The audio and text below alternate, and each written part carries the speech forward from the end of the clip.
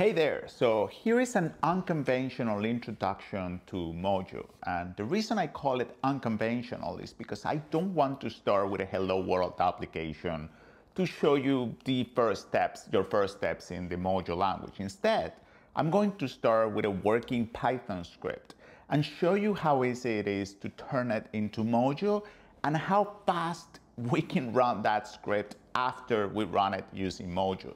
Here's the thing, Mojo will be a superset of Python. And I say will be because Mojo is not ready yet. We're still working on it. But when Mojo is done, uh, and you can use it to run any Python script. Right now, we have to make small modifications, and that is the goal of today's video. I want to get you excited with Mojo. I want you to see what a fast Python looks like. And over the next few weeks, I'm gonna be publishing a series of videos uh, showing you uh, the different aspects of Mojo. As I learn the language, I want you to follow along and see how cool it is. So let's get started with, uh, with this script here. Before we look at the code, I want you to go and search for the Get Started with Mojo guide. You're gonna find this online. And here it's, there is a section called requirements where you're gonna see how to install Mojo on your Mac computer, your Linux computer, or your Windows computer. You're gonna need WSL for Windows, and you're gonna need to have an Apple Silicon uh, Mac computer if you want to run Mojo. And obviously, uh, here you're gonna be able to run your first Hello World Mojo application. There is an entire guide about the language basics, so you can start right here. After you do this, then I want you to open the script that I'm sharing should be somewhere down the description of this video below. There is a GitHub repo. I'm gonna start adding all of my code related to Learning Mojo into that repo so you can follow along. And you're gonna start with the Hello World section. And you're gonna see there is a folder Hello World and there is a search.py inside. That is the script that I want to show you. Um, I want to translate into Mojo to, so you can see the differences in performance. Uh, like I mentioned before, Mojo will be a superset. So in the future, we should be able to get this script and run it in Mojo with no modifications whatsoever. Right now, that is not possible, okay? So right now, we're gonna have to translate the script. Uh, not a big deal, but you're gonna have to do that right now just because the language is not ready yet. So here's what the script does. It's very simple script. Contains a binary search function that is gonna take a sorted array and an element, and it's gonna find the position of that element in that array. That's it. It's a very, very straightforward binary search implementation, okay? That's the function. Then there is a second function that's called main, which is going to set up the whole experiment that we're trying to do here.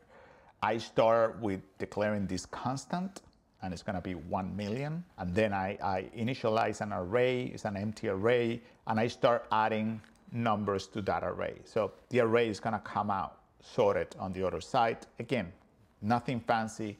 I just want to create something that's very, very simple. I initialize uh, results as another empty array. I'm gonna use this variable to accumulate the results of the binary search function. And then I'm going to time this portion here, okay? This code is the one that I want to time to see how long it takes to execute this functionality. This is what I'm timing. I'm gonna go 1 million times and I'm gonna call the binary search function consecutively, 1 million times. And I'm just gonna accumulate those values in the result array. Executing this is what matters here. That's what I want to measure in Python.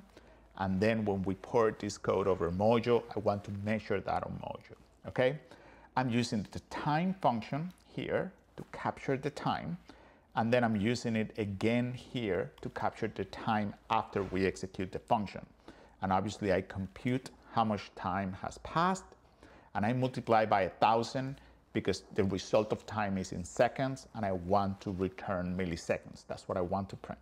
That's it. At the end of the program, the only thing that I do is I print how many results I added. I should get a million just to make sure everything is working fine. And then I call the main function. That's my code. So let's now execute this code. I'm gonna use Python 3. I'm gonna call the search function.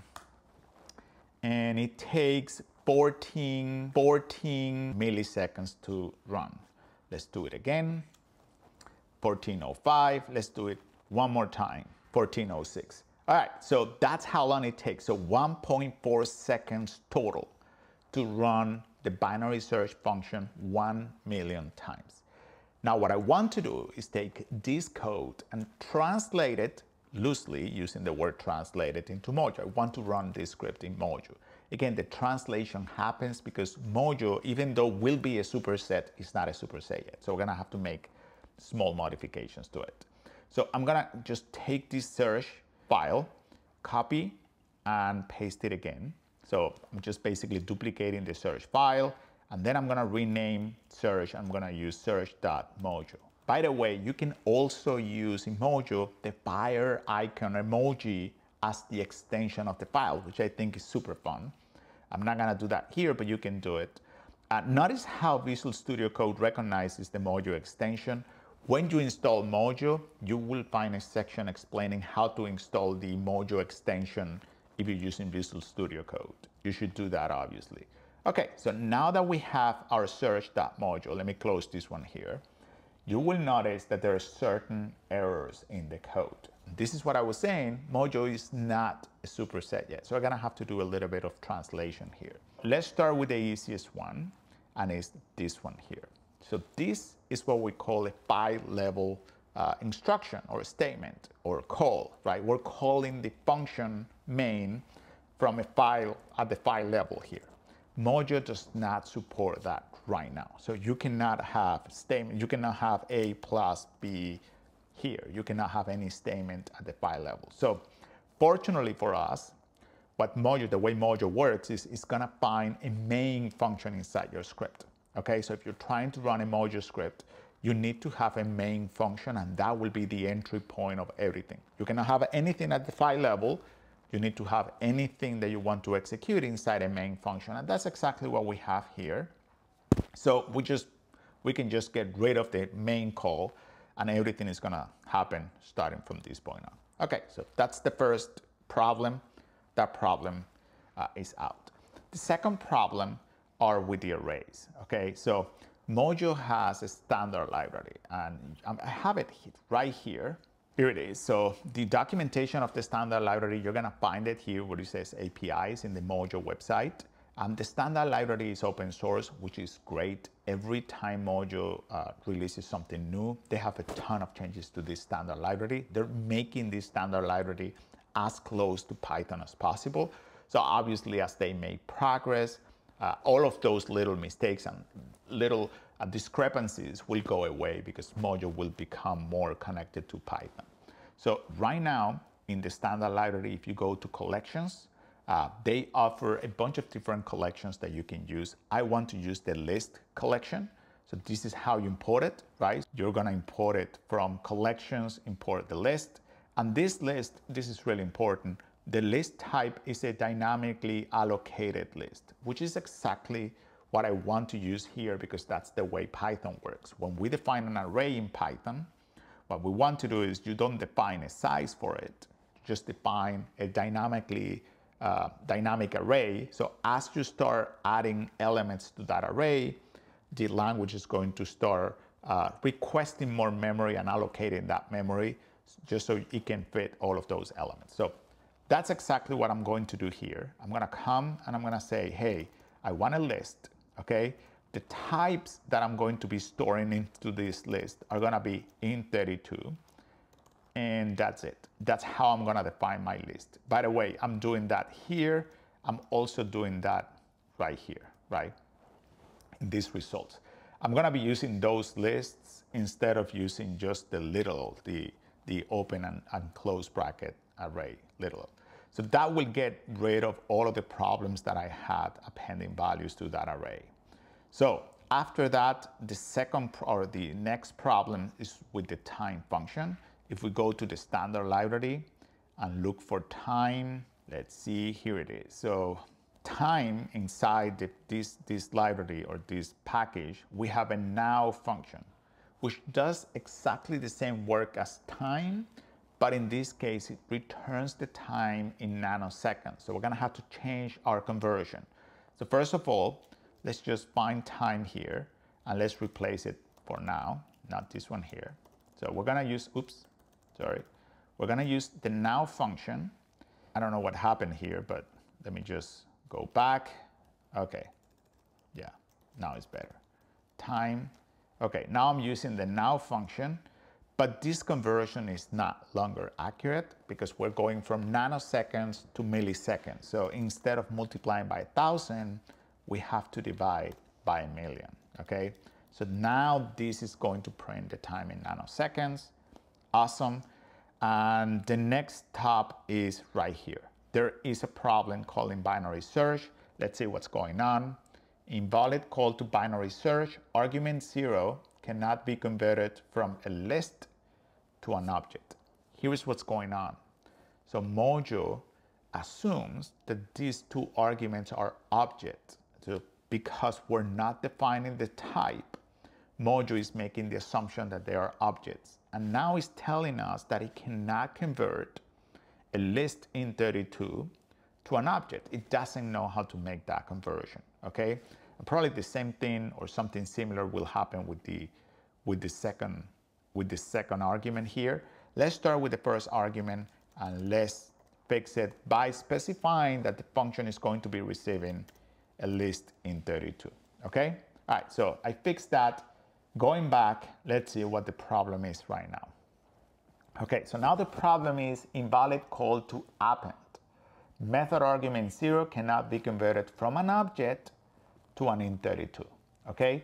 So what's happening right now is that results is expecting an int32, but the output of binary search, because we have not specified the type of the return value, is assumed by Mojo to be an object and it cannot convert that object into an int32 to append it to the result. So we fix that by specifying the output of the binary search, the type of the output of the binary search, which is going to be an int32.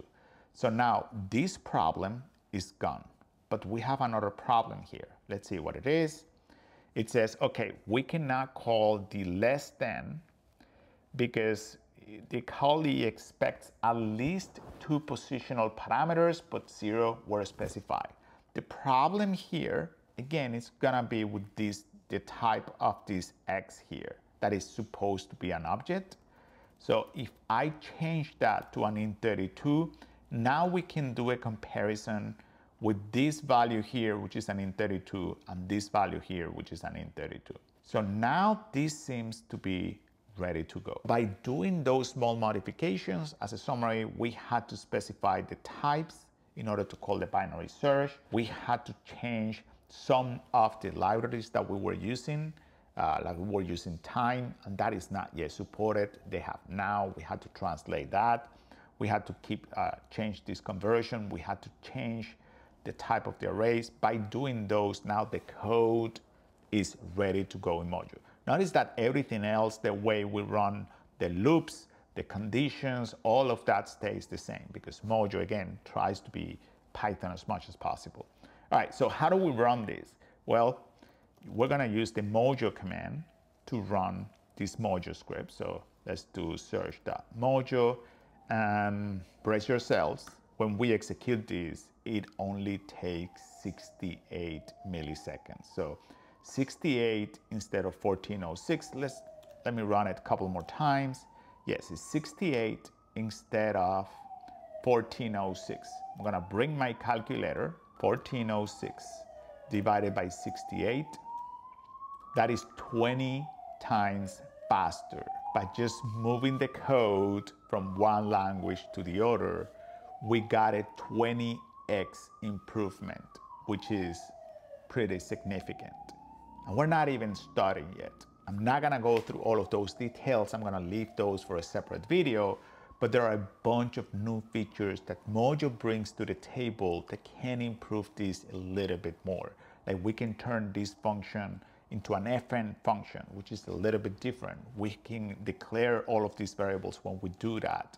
Uh, all of these parameters, we're not gonna need to make copies for them because they're gonna become immutable. So there is a bunch of little tricks that we are going to be covering on future videos that are gonna let, let us take something like this and make it even more performant. So I don't know about you, I'm super, super stoked about Mojo.